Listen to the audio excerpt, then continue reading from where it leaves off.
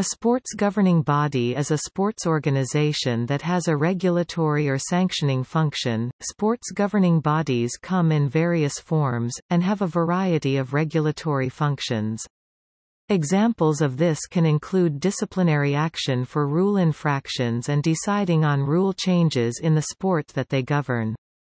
Governing bodies have different scopes. They may cover a range of sport at an international level, such as the International Olympic Committee and the International Paralympic Committee, or only a single sport at a national level, such as the Rugby Football League.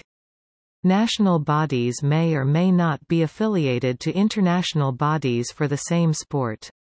The first international federations were formed at the end of the 19th century.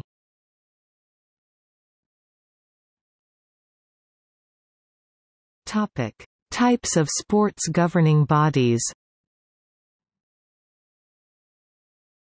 Every sport has a different governing body that can define the way that the sport operates through its affiliated clubs and societies. This is because sports have different levels of difficulty and skill, so they can try to organize the people playing their sport by ability and by age. The different types of sport governing bodies are all shown below. International sports federations are responsible for one sport or a group of similar sport disciplines, such as aquatics or skiing. They create a common set of rules and organize international competitions. The promotion of the sport are also a task of an international federation.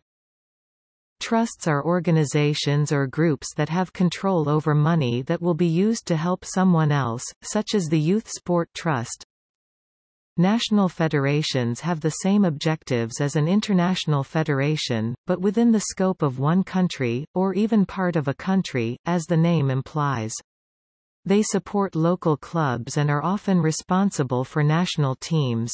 National Olympic Committees and National Paralympic Committees are both a type of national federation, as they are responsible for a country's participation in the Olympic Games and in the Paralympic Games respectively.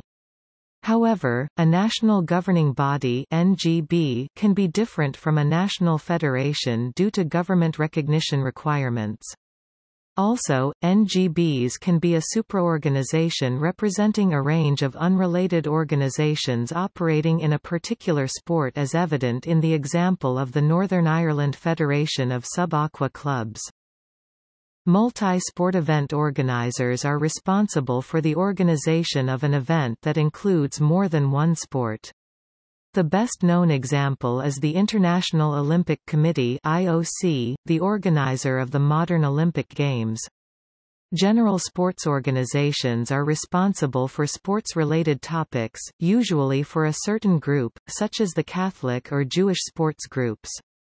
General sports organizations can also exist for the Army and other groups, but they usually are medium-sized, as they do not have that much of a budget to work with. Professional sports leagues are usually the highest level of play in sport, specifically if they consist of the best players around the world in a certain sport. Because of this, they usually work with national or international federations, but there is usually a separation between the different federations. Most North American professional leagues usually do not have amateur divisions, as the amateur divisions are mostly run in separate leagues. In addition, most professional leagues are related to other leagues, as players usually attempt to play in the league with the highest level of play.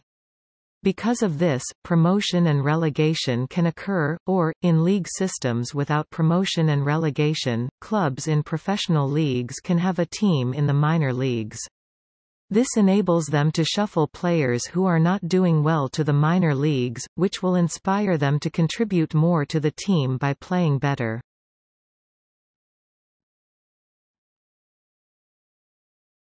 Topic. See also Regulation of sport.